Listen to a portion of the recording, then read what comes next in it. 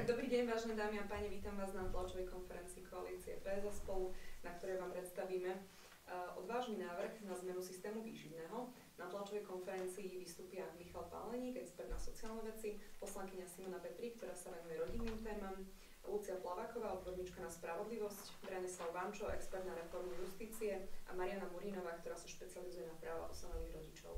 Tak pani Murinová. Ďakujem pekne. Dnes tu stojím preto, aby som vám povedala, ako zákon o náhradnom výživnom dopada na rodičov, na tých reálnych, ktorí musia čeliť jeho administratívnej zaťaženosti ako nás mnohokrát dostáva na okraj chudoby. Takto nejak, alebo podobne, vyzerá zápis rodiča, ktorý sa dostal do situácie, že musí žiadať o náhradné výživné. Som matka dvoch dcer a pred pár rokmi som sa dostala do situácie, keď som ako matka samoživiteľka musela žiadať o náhradné výživné. Môj ex-manžel nemohol platiť výživné, pretože bol vo výkone trestu. Zašla som teda na oddelenie náhradného výživného v mieste, kde som prechodne bývala, avšak poslali ma 200 km do miesta môjho trvalého bydliska. Tam mi oznámili, že musím počkať 3 mesiace v kuse, ktoré nedostanem náhradné výživné a medzi tým si vybaviť trestné oznámenie a exekútora. A tak som podala trestné oznámenie, počkala som 3 mesiace a s trestným oznámením, aby by som z účtu bežala k exekútorovi. Ten mi oznámil, že mám prísť o 3 mesiace a ak nič nevymôže, dostanem potvrdenie a potom môžem požiadať o náhradné vyživné. Bola som sama s dvoma malými deťmi. A tých 300 eur, ktorý mi dlžil v daných mesiacoch, mi chýbalo a musela som ich platiť zo svojich peňazí.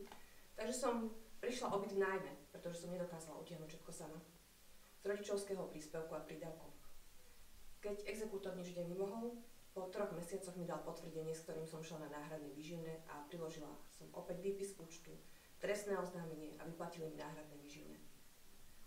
Tým však povinnosť matky nekončí. Príde na rad vypočúvanie na policii, vedenie si evidencie nevyplateného výživného, potvrdenie o tom, že príjem nepresahuje hranicu, potvrdenie o návšteve školy, podobne. Je to 7 rokov kedy som v priebehu dvoch rokov poberala náhradné výživné. Dodnes však musím viesť evidenciu. A všetko, čo by poslal ex-manžel navyše, musím rátať ako zameškané výživné a dopočítavať. A hlavne odložiť, pretože príde deň, kedy budem musieť štátu vrátiť a nik sa ma nebude pýtať, či na to mám. Či tých 20 eur, ktoré poslal v zime 2016, nebolo treba cére na čižiny. Ešte stále si dopisujem s exekútorom, ktorý doteraz nič nevymohol. A musím mu oznamovať čestným prehlásením každú jednu zmenu. Ja viem, toto nie je najťažší príbeh, ktoré náhradné výživné má. No, je reálny.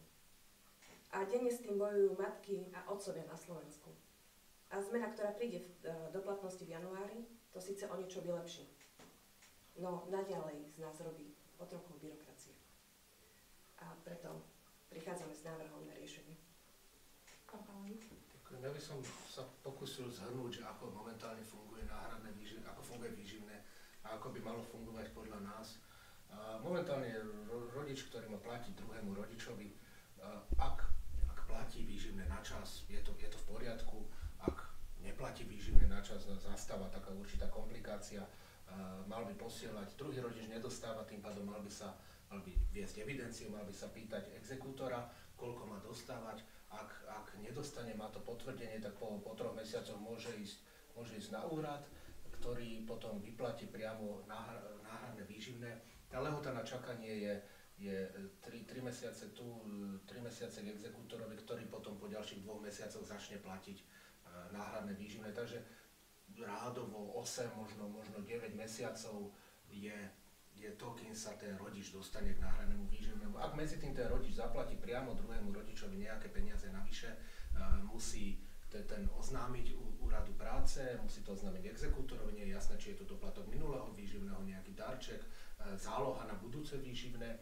Uh, ak exekútor niečo vymôže, po starom to posielal matke, ktorá to posielala úradu, ak teraz prišla tá zmena, že už to posiela priamo úradu, čo je výrazne pozitívna zmena. Pozitívna zmena je aj to, že tuto nie je lehota 2 mesiace, 3 mesiace, ale 2 mesiace a tuto nie je lehota tiež 3 mesiace alebo 2 mesiace. Dôsledkom je, že ak aj rodič začne platiť to výživné a platil 3 mesiace v kuse, vypadáva druhý rodič, v 92% prípadoch je to matka z, z, z náhradného výživného. Takže po starom bola tá čakacia doba, kým sa dostane človek, matka, to dieťa k výživnému, ktoré nedostáva 8 mesiacov, ponovom sa to skrátilo na, na 6, možno 5 mesiacov. Čo my chceme urobiť, akú zmenu je, že, že nebude to posielať rodič priamo druhému rodičovi, ale do stredu pribude štát. Jeden povinný rodič bude posielať štátu, štát bude posielať druhému rodičovi, čo, čo stihne za 48 hodín. Ak ale ten povinný rodič v 92 prípadoch otec nezaplatí, vtedy prichádza tá výhoda. Štát stále zaplatí, zaplatí tej matke, stihne to zúčtovať relatívne jednoduchým informačným systémom do, do, naozaj do, do niekoľko hodín, nie do niekoľko mesiacov. A e, tomu druhému rodičovi vie si stiahnuť inkasom tie peniaze, vie e, využiť všetky vymoženosti behaviorálnej ekonomiky, vie posielať SMS-ky, e-maily, pekné, pekné listy, potom škarečie listy a, a v konečnom dôsledku vie až použiť možno trestné oznámenia alebo služby exekútora, ale určite predtým využije všetky ostatné možnosti, ktoré sú k dispozícii a a hlavne tá čakacia lehota nebude 6 mesiacov, ale 48 hodín. Takže chceme skrátiť čakaciu dobu to, kým sa rodičia dostanú k výživnému, k náhradnému výživnému z, z množstva mesiacov na niekoľko hodín.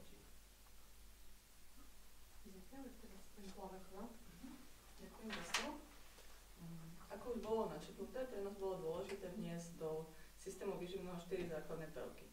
Tým prvým je odbremenenie od neprimeranej byrokracie a papierovačiek. V našom návrhu rodičovi, ktorý má príjmať výživné, stačí, keď sa prihlási do systému vyplnením jednostránkového formuláru a ostatná administrácia je potom v rukách štátu. Druhým je skrátenie lehôd, respektíve skrátenie obdobia, kedy dieťa nedostáva žiadne výživné, na nulu, respektíve na 48 hodín. Uh, navrhujeme systém tak, aby každé dieťa dostávalo pravidelne každý mesiac výživné aspoň vo výške náhradného výživného. Takýto prístup považujeme za správny a férový. A potom tretím uh, bodom je vlastne znemožnenie zneužívania podmienok vstupu do systému náhradného výživného tým, že rodič platí výživné občasne. Napríklad jeden mesiac zaplatí, druhý mesiac nezaplatí a takto vlastne dookola. A podľa súčasnej právnej úpravy v takejto situácii vlastne vôbec nevzniká nárok na náhradné výživné, v dôsledku čoho zostáva dieťa bez plnohodnotné výživného počas veľmi dlhej doby, v podstate až kým sa nepodarí výživné výmoc od rodiča, ak sa to teda vôbec podarí. Tomuto chceme zabraniť tým, že náhradné výživné bude vyplácané automaticky v momente, keď rodič nesplní svoju vyživovaciu povinnosť a neuhradí výživné za príslušný mesiac, alebo ho neuhradí v plnej výške. Štvrtým dôležitým bodom je zlepšenie vzťahov medzi rodičmi, keď rodičia nebudú musieť stretnutia začínať otázkou, či ten druhý zaplatil výživné, keďže medzi nich vlastne vstúpi štát ako tretí subjekt, ako administrátor tejto povinnosti. Tiež veríme, že nami navrhovaný systém bude mať za následok aj zníženie počtu prípadov, keď sa výživné stáva e, nástrojom vydierania voči bývalému partnerovi alebo partnerke. Ďakujem. Ja spomeniem ďalšie, ďal, ďalšie výhody, ktoré vlastne riešia problémy, ktoré tu boli spomenuté. A prvým z nich je odstranenie byrokracie, ktorá je momentálne naozaj zaťažujúca hlavne matky, alebo teda rodičov, ktorí majú, majú príjmať a, výživné. A, táto ťarcha na pleciach matiek sa vlastne presunie na ten, na ten systém, ale systém zároveň pomôže aj úradom, pretože nebudú kontrolovať tú evidenciu, nebudú posudzovať stále tie nároky, či tam je alebo nie je nárok na náhradné výživné.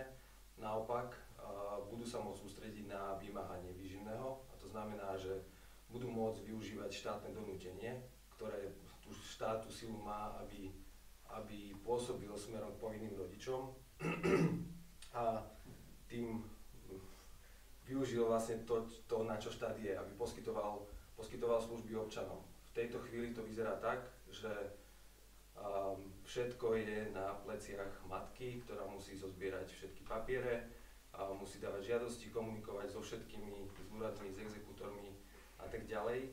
Všetka táto ťarcha sa prenesie na ten systém tým, že sa tam vytvoria jasné pravidlá a mm, zamedzí sa to aj špekulatívnemu prístupu niektorých rodičov, ktorí momentálne a, vedia v tom chodiť ten deravý systém im umožňuje treba platiť po novom každý druhý mesiac a to dieťa, respektíve matka už nemá nárok na, na, na výživné. To, je, to spôsobuje, že, že vymožiteľnosť práva alebo nároku na výživné a, je extrémne nízke. A, okrem teda toho, že to, že to trvá dlho. Vymožiteľnosť práva na Slovensku celkovo je, je zásadný problém. A vnímajú to tak ľudia, vnímajú to zamestnanci, podnikatelia, vlastne celá spoločnosť vníma, že vymožiteľnosť práva je na Slovensku extrémne nízka. Problém je aj v justícii, pretože častokrát je spravodlivosť pomalá a nedostupná. A ľudia nevedia, ako sa majú, ako sa majú k spravodlivosti dostať. My sme tu predstavili spôsob alebo systém, ktorý umožňuje dostať sa spravodlivosti jedným úkonom. Ten, ten človek, alebo matka, alebo, alebo otec bude môcť na súde, keď schvaluje dohodu, alebo, alebo rozhoduje o výške výživnom, požiadať do zápisnice, že má záujem vstúpiť do tohto systému a súd potom komunikuje s úradom a všetko vybaví a ide to už cez, cez ten systém a vlastne matka, matka si môže byť istá, že dostane jej dieťa výživné každý mesiac po, po celý rok.